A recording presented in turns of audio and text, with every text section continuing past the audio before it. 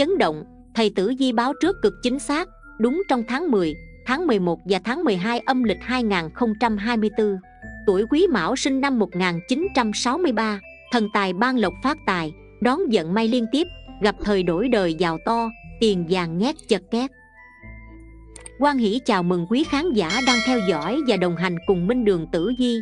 Mến chúc quý khán giả đông đầy hạnh phúc gói trọn lộc tài giữ mãi an khang thắt chặt phú quý quý bản mệnh tuổi quý mão sinh năm 1963 thân mến, chịu đựng áp lực là một kỹ năng cần có trong cuộc sống, nhưng lắm khi do chịu đựng quá lâu, quý mão sẽ thấy mỏi mệt, cứ phải gồng mình lên, cứ phải cố cứng rắn, mạnh mẽ lên, vậy nên quý mão phải có một kỹ năng khác, đấy là sự thản nhiên, bình lặng.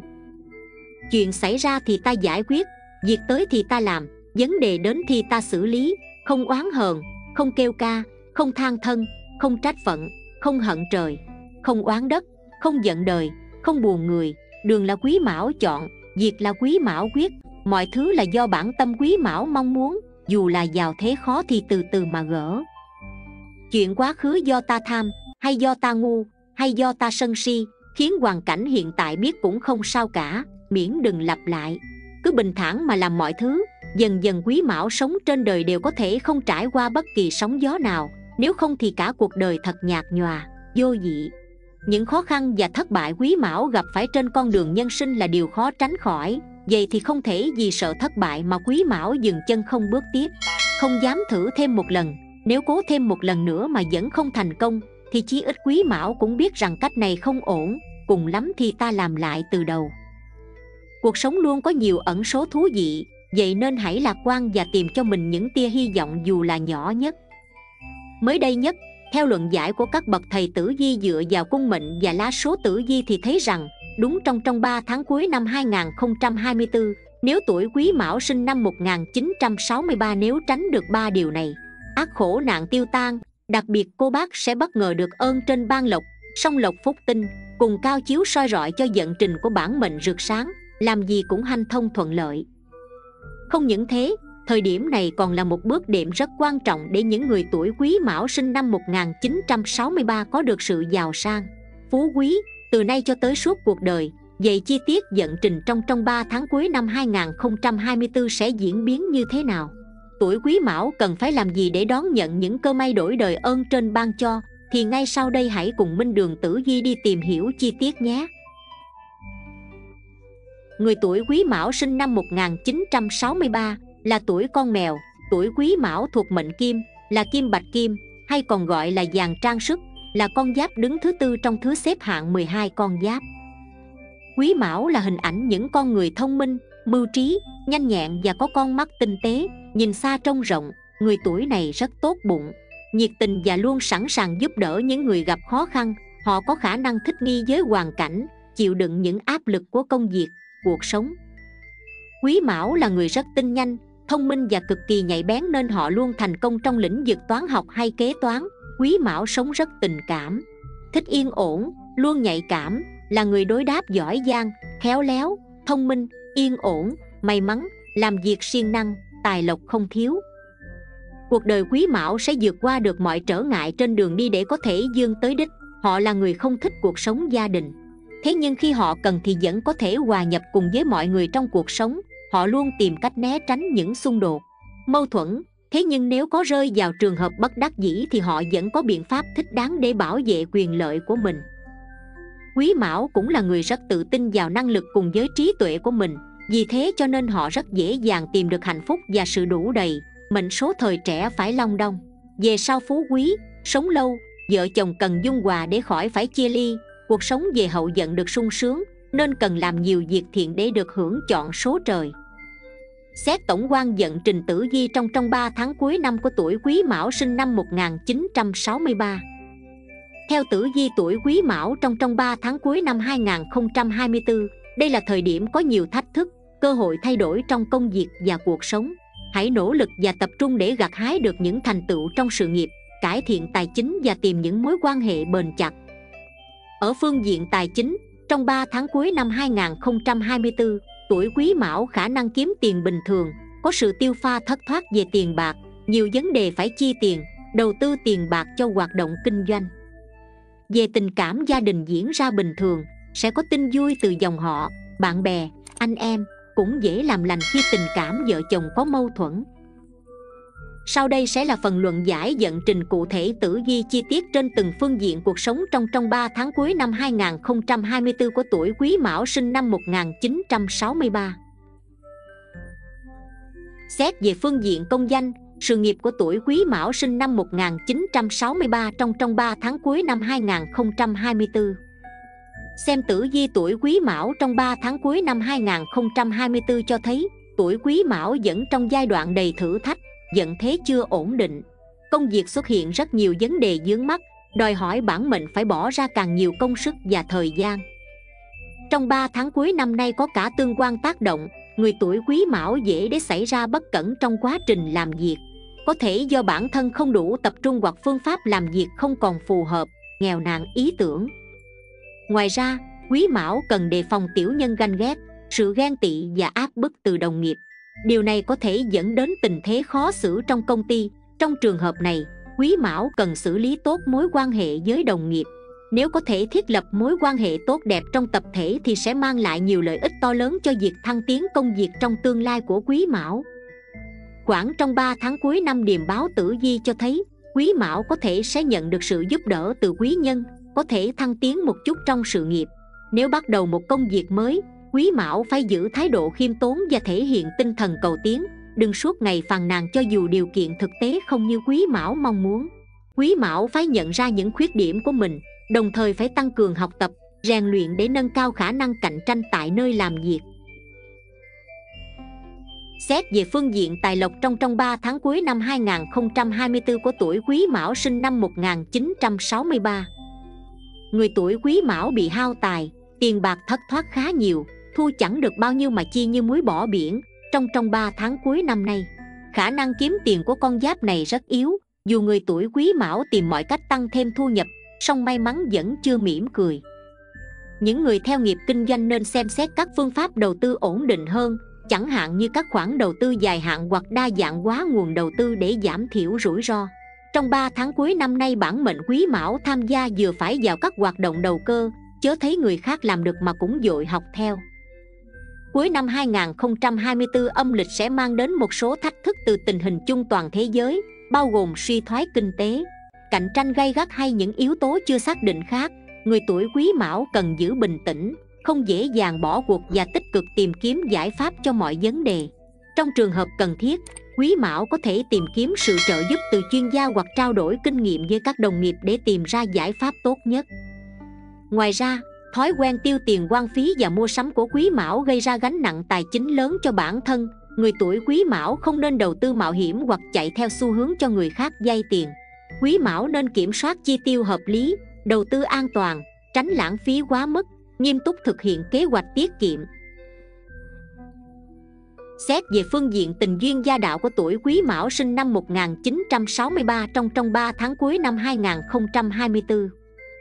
Bước sang trong 3 tháng cuối năm 2024, trong đời sống tình cảm, các mối quan hệ của người tuổi quý mão có xu hướng xấu đi, hung tinh trực phù khiến tâm tình của quý mão dễ trở nên cáo kỉnh.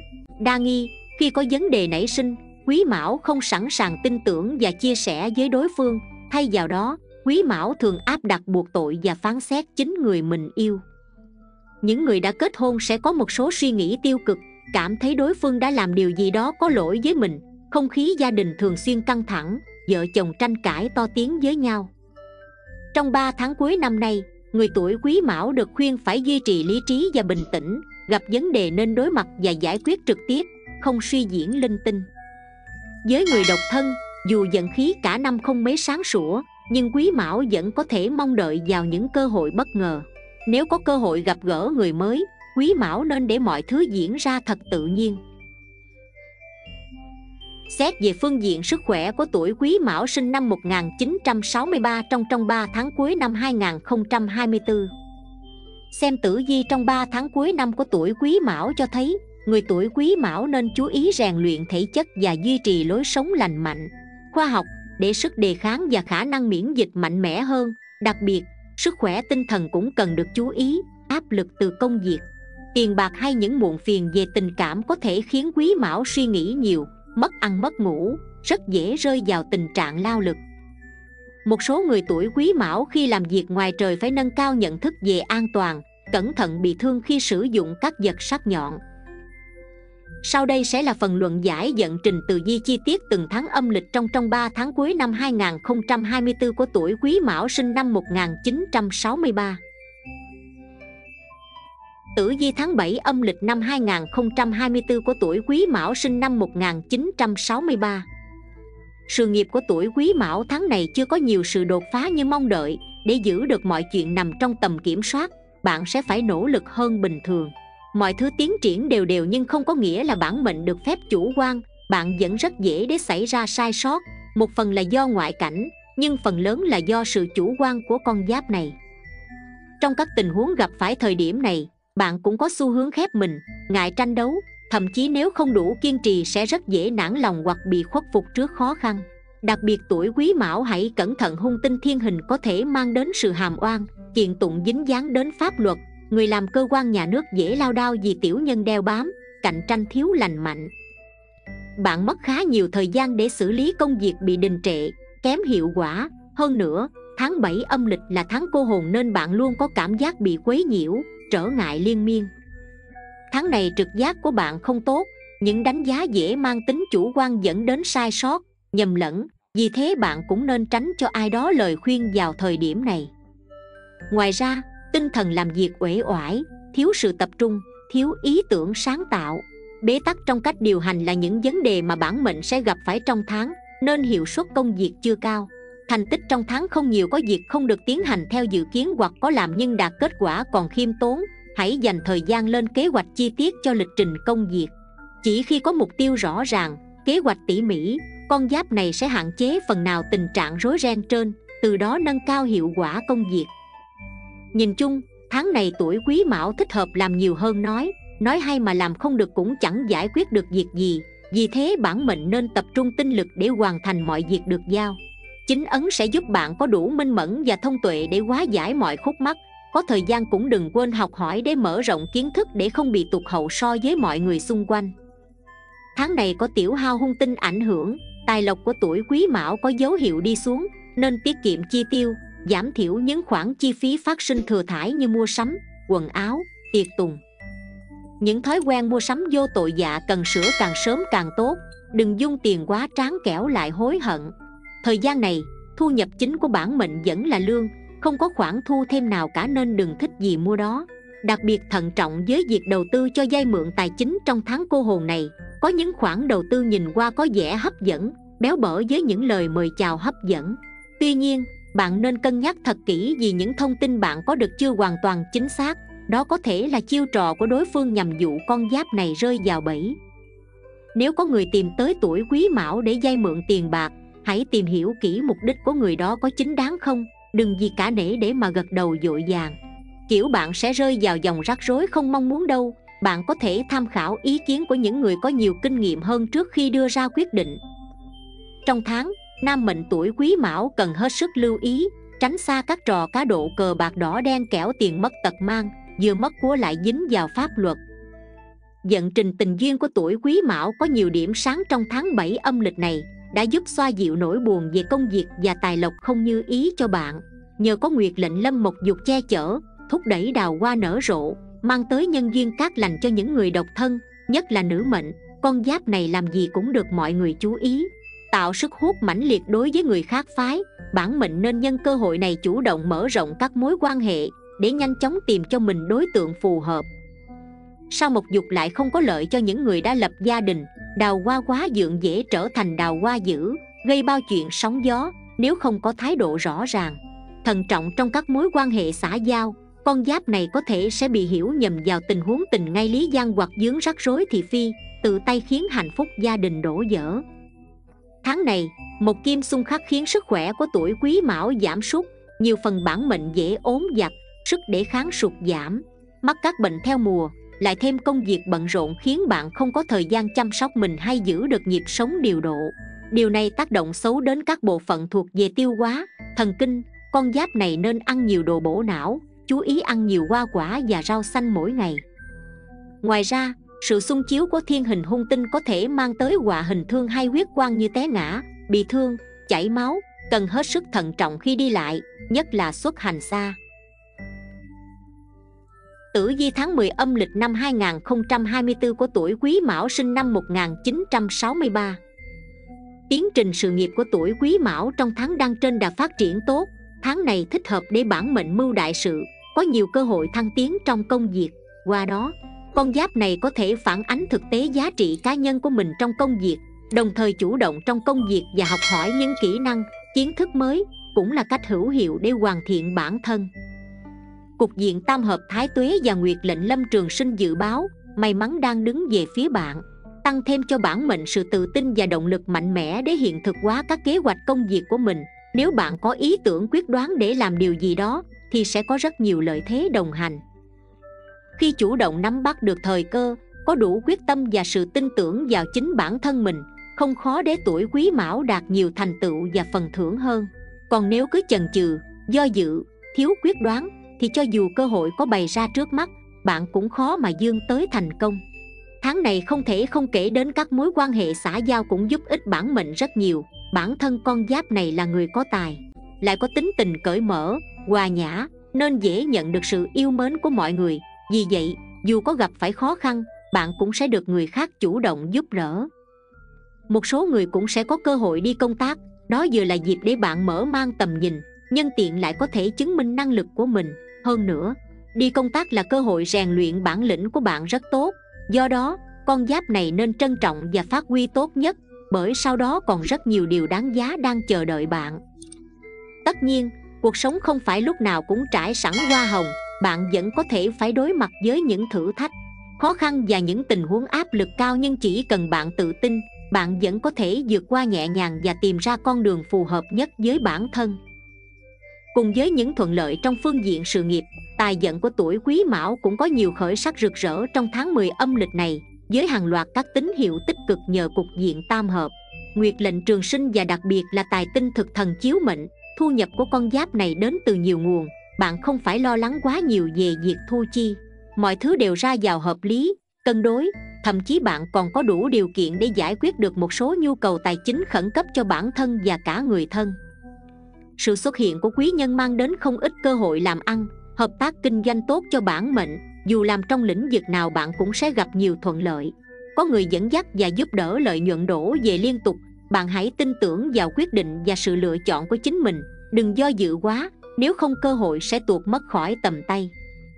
Nếu làm trong lĩnh vực đầu tư, kinh doanh, tháng này bạn nên mạnh dạn ký kết hợp đồng, thậm chí là có thể mở rộng quy mô sản xuất để đem lại nhiều lợi nhuận hơn cho bản thân. Vận khí đang rất thịnh vượng, Khả năng bạn còn kiếm được nhiều hơn cả mong đợi. Đây là giai đoạn quan trọng để tuổi quý mão thu lợi nhuận từ những quyết định đầu tư sáng suốt trước đó của mình, Cũng như đặt nền móng vững chắc cho những dự định quan trọng trong năm tới. Cũng cần nhắc nhở rằng, càng gần về cuối năm, bạn càng cần làm đâu chắc đấy, Hạn chế những mạo hiểm không đáng. Như vậy thì thắng lợi chắc chắn sẽ thuộc về phía bạn. Tháng này dù tuổi quý mão có các cơ hội để kiếm được nhiều tiền hơn, nhưng nó cũng đòi hỏi một sự nỗ lực nhất định để đạt được kết quả tốt hơn. Nếu bạn là người có thói quen lập kế hoạch tài chính, bạn có thể nhận được nhiều lợi ích hơn. Do đó, bản mệnh nên nâng cao kiến thức về đầu tư và quản lý tài chính khi có tiền và thời gian, điều này sẽ rất có giá trị về lâu dài.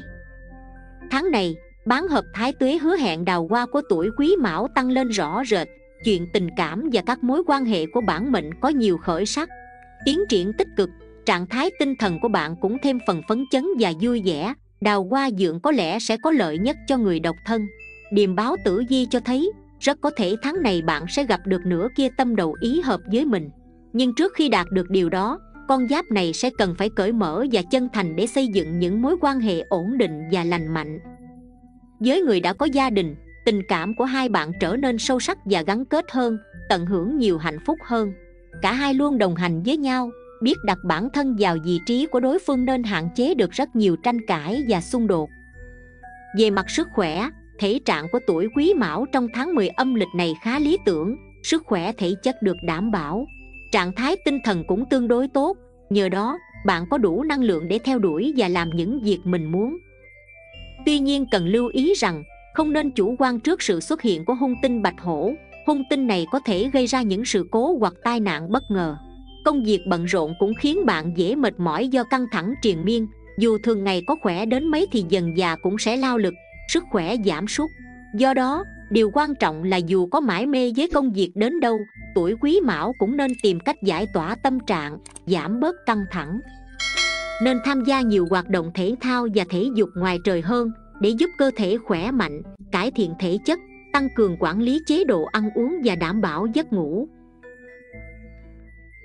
Tử vi tháng 11 âm lịch năm 2024 của tuổi Quý Mão sinh năm 1963 Con đường sự nghiệp của tuổi Quý Mão có dấu hiệu chững lại trong tháng 11 âm lịch này. Bản mệnh cần phải dè chừng sức ảnh hưởng của cục diện tương hình Dễ khiến bạn trở nên kiêu ngạo. Thiếu suy nghĩ, tự đẩy mình vào rắc rối. Có thể bạn là người có tầm nhìn xa trông rộng Tuy nhiên, bạn không nên lấy đó làm ngạo mạn và coi thường quan điểm của mọi người xung quanh. Tháng này, thói quen ăn nói không biết kiên nể sẽ dễ khiến cho con giáp này gây thù chuốc oán với người khác làm cho các mối quan hệ xã giao từ trước đến nay của bạn bị ảnh hưởng. Đặc biệt là với người làm lãnh đạo bạn cần chú ý trong cách trao đổi công việc với nhân viên nếu không dễ khơi lên sự bất mãn mất đoàn kết trong tập thể nếu mọi người không có cùng mục tiêu, ai cũng dự mất mặt trong lòng thì công việc khó có thể tiến triển như ý muốn được. Nguyệt lệnh lâm tự khuyên bản mệnh cần cởi mở hơn khi trao đổi với mọi người. Không nên tự tách mình ra khỏi tập thể. Người tài giỏi đến mấy cũng không thể làm tất cả mọi việc một mình. Nhiều khi bạn cần đến sức mạnh của sự đoàn kết mới có thể hoàn thành mục tiêu của mình. Sự xuất hiện của các tinh thiên đức cũng giúp cho vận trình của tuổi quý mão đỡ phần ảm đạm nếu bạn biết hạn chế các mặt tính cách chưa tốt của mình thì vẫn có cơ hội cho bạn khẳng định điểm mạnh của bản thân, ghi điểm trong mắt người khác, thậm chí chạm tay vào cơ hội thăng chức tăng lương. Con đường tài lộc của tuổi quý mão tháng này cũng khó đạt được sự phát triển như mong muốn. Đây là lúc bạn cần nghiêm túc nhìn nhận lại những gì mình đã làm. Nếu thấy mình mắc lỗi sai thì cần nghiêm túc sửa đổi, chớ nên đổ lỗi cho hoàn cảnh hoặc cho người khác người làm ăn kinh doanh cần thay đổi những suy nghĩ cứng nhắc đã có phần lạc hậu của mình. Xu hướng thị trường luôn thay đổi liên tục, nếu bạn không bắt kịp thì rất dễ trở thành người tụt hậu để các đối thủ vượt qua mình. Bên cạnh đó, khuyên bản mệnh cũng cần chú ý lắng nghe lời góp ý của mọi người xung quanh, đừng nên tự coi mình là nhất. Quá trình đầu tư luôn tiềm ẩn những nguy cơ mà có khi bạn không thể nhận ra hết được, nếu cứ bướng bỉnh làm theo ý mình. Con giáp này sẽ rất dễ phạm sai lầm gây hao tài tốn của, không chỉ ảnh hưởng đến bản thân mà còn ảnh hưởng đến cả những người đi theo mình. Đây cũng chưa phải thời điểm thích hợp để tuổi quý mão mở rộng quy mô đầu tư kinh doanh, bởi bạn chưa tích lũy đủ kinh nghiệm cũng như hiểu biết về đối tác của mình. Tốt nhất, hãy cứ bình tĩnh nhìn nhận đánh giá vấn đề cho chuẩn xác và chờ đợi cơ hội triển vọng hơn trong tương lai. Tháng này điểm sáng ở phương diện tình cảm là điều an ủi lớn lao đối với tuổi quý mão khiến cho vận trình của bản mệnh bớt phần ảm đạm. Bạn được sống trong sự yêu thương của người thân, nhờ thế mà con giáp này có thêm động lực để đối diện với khó khăn trong cuộc sống. Với người đã lập gia đình, nửa kia chính là chỗ dựa tinh thần vững chắc cho bạn. Bạn luôn tâm sự với người ấy những khúc mắc mình đang gặp phải và người ấy sẵn sàng dành cho bạn những lời khuyên hữu ích. Hơn nữa, đối phương còn luôn bao dung cho những tính cách chưa tốt của con giáp này. Vì thế hãy trân trọng những gì mình đang có và đáp lại bằng một tình cảm tương tự. Chắc chắn hai người có thể xây dựng được mái ấm khiến nhiều người ngưỡng mộ. Với người còn độc thân, bạn có thể được giới thiệu cho đối tượng khá triển vọng, cũng nhờ sự tự tin mà bản mệnh dễ dàng gây ấn tượng cho mọi người. Dù xuất hiện ở bất cứ đâu, chỉ cần giữ tinh thần tích cực, cởi mở, không khó để bạn tạo lập được mối quan hệ mới với một ai đó tháng này tuổi quý mão cần chú ý suy nghĩ tích cực và trò chuyện với mọi người nhiều hơn để giảm áp lực tinh thần cho mình. Nếu gặp phải vấn đề gì khó giải quyết đừng nên cứng đầu. Cứng cổ, khư khư giữ quan điểm của mình. Đôi khi hạ cái tôi của mình xuống và làm theo gợi ý của mọi người, bạn sẽ thấy mọi việc đơn giản cũng như tinh thần nhẹ nhõm hơn nhiều. Bên cạnh đó, con giáp này cũng cần chú ý duy trì nếp sống lành mạnh, chăm chỉ tập thể dục thể thao quá trình vận động không những giúp bạn khỏe mạnh về thể chất mà còn thoải mái về tinh thần thậm chí bạn còn quen được với bạn bè hoặc người có cùng chí hướng khi tham gia các hoạt động Tử vi tháng 12 âm lịch năm 2024 của tuổi Quý Mão sinh năm 1963. Có thể thấy rằng, vận trình sự nghiệp của tuổi Quý Mão trong tháng cuối cùng của năm 2024 này khá hanh thông. Dù phải vất vả chạy ngược chạy xuôi thì bạn vẫn giữ vững được phong độ của mình, tạo sự tin tưởng và yên tâm cho lãnh đạo, dù giữ vị trí hay chức vụ nào đi nữa. Bản mệnh cũng hãy tập trung vào nhiệm vụ như thế, thì khả năng của bạn có thể phát huy được ở mức tối đa. Con giáp này vẫn có thể gây ngạc nhiên và ấn tượng cho người khác. Ngay cả khi thực hiện những công việc quen thuộc nhất, nhiều thành tích gặt hái được có thể khiến bạn cảm thấy tự hào về bản thân song đừng vì thế mà quên đi lối hành sự khiêm tốn cùng với sự lắng nghe. Nếu ngủ quên trên chiến thắng, bản mệnh sẽ tạo điều kiện cho người khác vượt qua mình, đồng thời trở thành ít ngồi đáy giếng. Hơn nữa, thiên cẩu còn mang tới họa tiểu nhân rình rập. Nếu bạn vô tình chỉ trích, coi thường người khác, con giáp này rất có thể chuốc lấy sự thù ghét từ người khác. Kẻ xấu có thể nhân lúc bạn lơ là để chuyện bé xé ra to, gây ảnh hưởng đến danh tiếng hoặc cướp mất công lao bạn đã bỏ gia suất bấy lâu nay ngoài ra, tuổi quý mão hãy luôn giữ bình tĩnh khi trao đổi, tranh luận với người khác, hãy thử thay đổi góc độ nhìn nhận vấn đề. Bạn có thể nhận ra được cái hay trong ý kiến của người khác, bởi không phải lúc nào quan điểm của bạn cũng là tối ưu. Nhìn chung, đường tài lộc của tuổi quý mão ở vào trạng thái khá ổn định trong tháng cuối cùng của năm 2024 này, bạn không có cơ hội phát tài. Phát lộc lớn, nhưng các nguồn thu vẫn chảy vào túi đều đều đảm bảo cho con giáp này có thể thoải mái sắm sửa cho năm mới. Người làm công ăn lương hoàn thành tốt nhiệm vụ được giao, khẳng định được vị thế của bản thân thì ắt nhận được khoản thưởng nóng, hoa hồng xứng đáng. Nếu tự tin vào những đóng góp của mình cho tập thể thì bản mệnh có thể chủ động đề xuất tăng lương, khả năng được lãnh đạo đồng ý là rất cao. Người làm kinh tế giữ được chữ tính của mình, nên lượng khách hàng ghé thăm vẫn ổn định. Tuy nhiên bạn có thể thử kinh doanh thêm một vài mặt hàng mới xem sao. Bạn có cơ hội thu hút thêm một lượng khách hàng mới nữa đem về nguồn thu nhập khá triển vọng cho bản thân. Tuy nhiên sao thiên cẩu khuyên tuổi quý mão vẫn nên cẩn thận khi trao đổi hợp tác với các khách hàng, đối tác. Trước khi ký kết hợp đồng, bạn hãy xem xét kỹ các điều khoản để tránh dướng phải những thị phi, mâu thuẫn về lợi ích trong tương lai. Các tinh tả phù khuyên con giáp này hãy luôn giữ sự tích cực hăng hái trong công việc, tài năng của bạn sẽ giúp bạn dần tìm ra hướng khắc phục mọi khó khăn. Hơn nữa, bản mệnh có thể gây ấn tượng với quý nhân, đối phương có thể đưa ra cho bạn nhiều gợi ý đắc lực. Tiếc rằng, con đường nhân duyên của tuổi quý mão tháng này lại không được hanh thông như sự nghiệp và tài lộc. Có lẽ bạn nên xem lại cách hành xử của mình, chứ đừng mãi đổ tội cho hoàn cảnh hoặc người này người khác. Người độc thân vẫn chưa quên được quá khứ người cũ ra đi để lại vết thương lòng quá lớn, khiến cho con giáp này vẫn không có đủ dũng cảm để đi tìm hạnh phúc mới cho mình.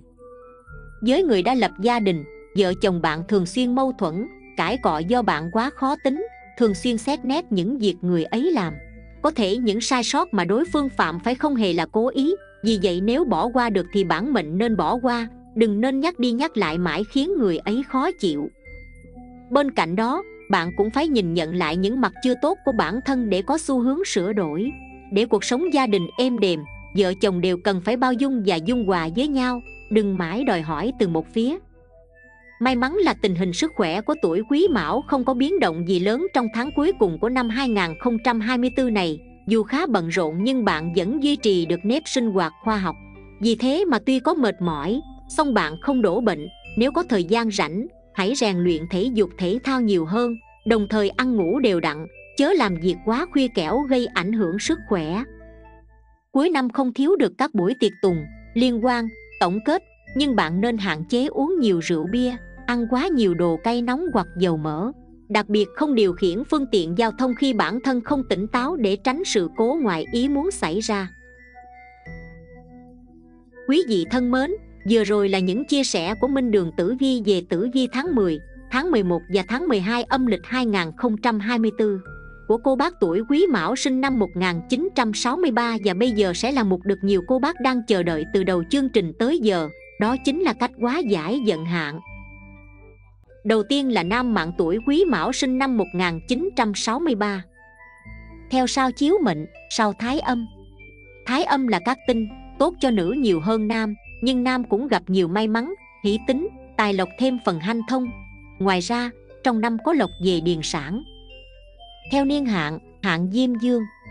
Gặp hạn này cần thận trọng chuyện làm ăn kẻo dướng vào kiện tụng pháp luật cãi giả tranh chấp giúp người làm ơn mắc oán. Cần hết sức lưu ý vấn đề đi lại tham gia giao thông đề phòng tai nạn bất ngờ. Ngoài ra trong năm có thể có tin buồn tăng chế từ xa đưa tới.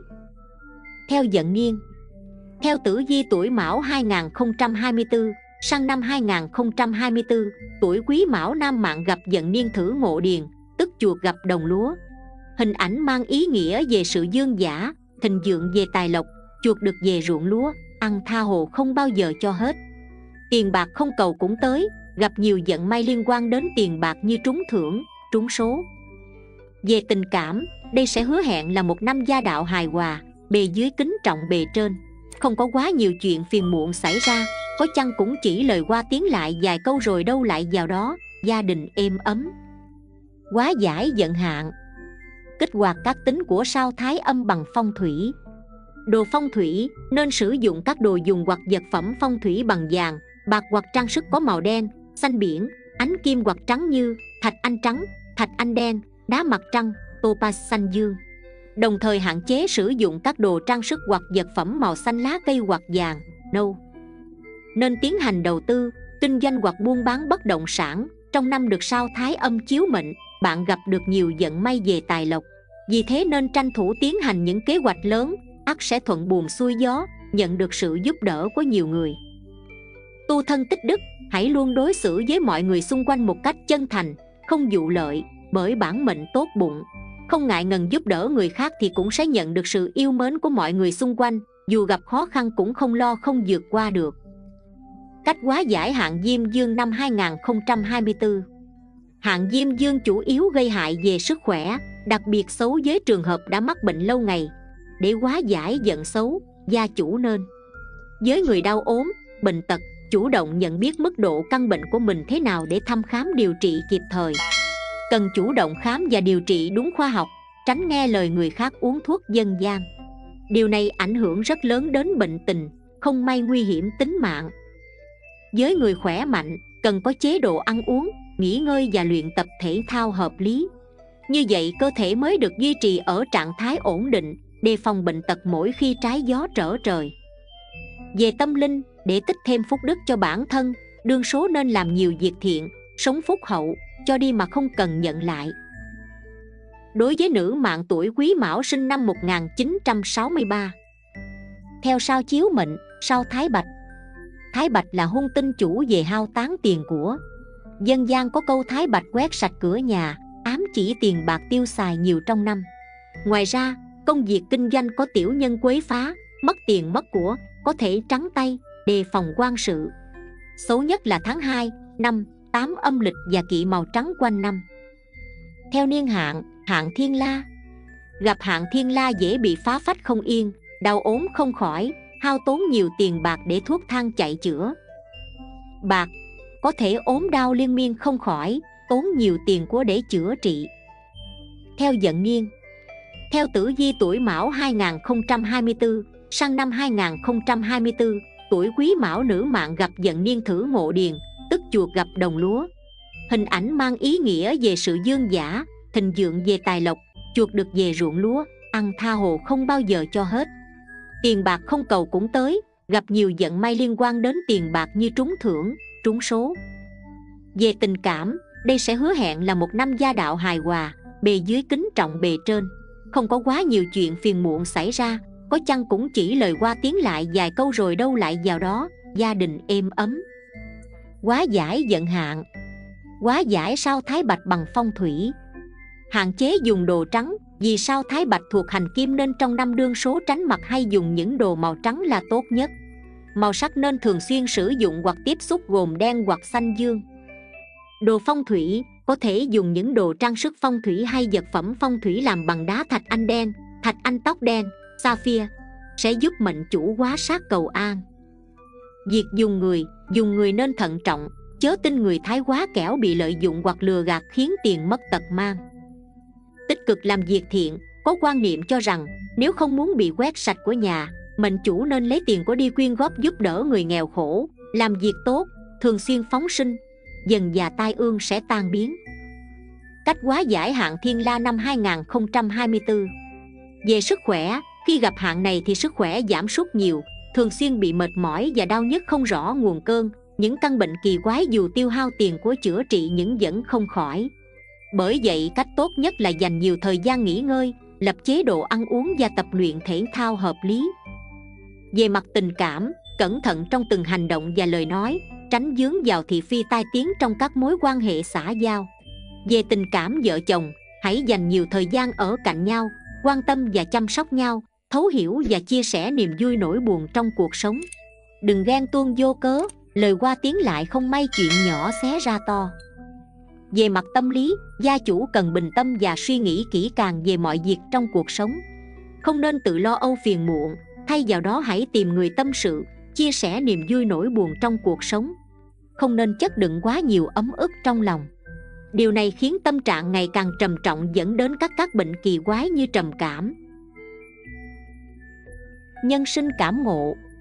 Quý vị thân mến, nhiều nghiên cứu cho thấy tức giận có thể dẫn đến chết sớm. Bởi thế, nếu muốn sống thọ, nhất định phải tiết chế cơn nóng giận của chính mình. Câu chuyện sống dưới đây sẽ giúp bạn hiểu hơn về điều này. Trăm bệnh đều từ tức khí mà sinh ra. Vì thế, nếu muốn kéo dài cuộc sống, ngay từ hôm nay, cần phải tiết chế cơn nóng giận, thay đổi quan niệm sống, cải biến tập quán sinh hoạt không tốt, tu thân dưỡng tính câu chuyện cuộc sống về sự tức giận. Có một vị phu nhân, thường vì những chuyện giặt giảnh mà sinh nóng giận, có một ngày bà đi tìm một vị cao tăng thỉnh giáo. Cao tăng nghe xong, liền dẫn bà đến một gian thiền phòng, khóa cửa lại rồi rời đi. Vị phu nhân tức giận chửi mắng ầm ĩ một hồi, cao tăng cũng không để ý tới, rồi bà lại bắt đầu cầu khẩn, cao tăng vẫn ngoảnh mặt làm ngơ. Vì phu nhân cuối cùng đành phải im lặng, cao tăng ở bên ngoài cửa hỏi bà còn tức giận không? Vì phu nhân nói, tôi chỉ tức giận chính mình, sao lại đến cái nơi quỷ quái này để chịu tội khổ không biết? Cao tăng phẩy tay áo rời đi, nói giọng vào, người mà ngay cả chính mình cũng không chịu tha thứ, thì làm sao tâm có thể phẳng lặng như mặt nước được đây? Một lát sau, cao tăng lại hỏi, bà còn tức giận không? Vì phu nhân nói, hết rồi, tức giận để làm gì cơ chứ? Tức giận cũng có làm được gì đâu. Cao tăng lại dời đi lúc cao tăng trở lại lần thứ ba dì phu nhân nói với ông, tôi hết tức giận rồi, bởi vì không có gì đáng để tức giận. Cao tăng cười nói, bà còn biết nó có đáng hay không? Xem ra trong nội tâm vẫn còn cái gốc rễ của khí. Một hồi sau, đang lúc cao tăng đứng ở trước cửa ngắm trời chiều dì phu nhân hỏi, đại sư, khí là gì vậy? Cao tăng đổ nước trà vào trong tay, làm rơi dãi khắp đất. Dì phu nhân nhìn thật lâu chợt tỉnh ngộ, cảm tạ, rồi rời đi. Bài học từ câu chuyện cuộc sống về sinh mệnh con người. Sinh mệnh của chúng ta cũng giống như chén nước trà trong tay vị cao tăng kia, chỉ trong giây lát đã hòa vào lòng đất. Năm tháng ngắn ngủi như thế, những việc nhỏ nhặt trong đời đâu có đáng giá để chúng ta uổng phí thời gian mà đi tức giận. Đôi khi trong cuộc sống, chúng ta vì những việc nhỏ nhặt mà tức giận, đơn giản là vì tranh giành cao thấp hơn thua mạnh yếu. Nhưng cuối cùng, đều không ai chiến thắng cả. Bạn có thể thắng ở việc này, nhưng có thể lại thua ở việc khác. Lúc bạn nhắm mắt, từ giả thế gian này, dù có là ai, thì cũng đều giống nhau, chỉ là hai bàn tay trắng. Đời người quan trọng nhất là làm được một chút việc gì đó mà bản thân cảm thấy có ý nghĩa. Không nên tốn thời gian đi tranh đoạt danh lợi, không nên cứ lợi hơn thua vì một câu nói mãi thế. Người có tu dưỡng chân chính sẽ biết nén cơn tức giận xuống, biết kiểm soát được nóng giận, mới có thể khiến sự tình trở nên tốt hơn, mới có thể khỏe mạnh và trường thọ. Nếu để bạn mắc bệnh nhẹ một tuần, bạn sẽ phát hiện, tiền tài không còn là quan trọng, chỉ có gia đình và thân thể mới là đáng quý. Nếu để bà mắc bệnh nặng một tháng, bạn sẽ phát hiện, tiền tài đặc biệt không hề quan trọng, thân thể và người nhà mới là trọng yếu. Nếu để bạn mắc bệnh nặng nửa năm đoán chừng bạn sẽ sẵn lòng buông bỏ hết thảy tiền tài và danh lợi chỉ có thân thể mới là thứ quan trọng nhất.